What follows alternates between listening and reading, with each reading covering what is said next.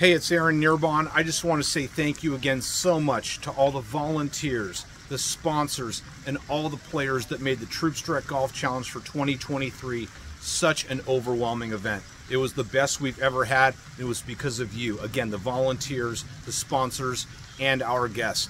Thank you for what you enabled us to do for our service members around the globe.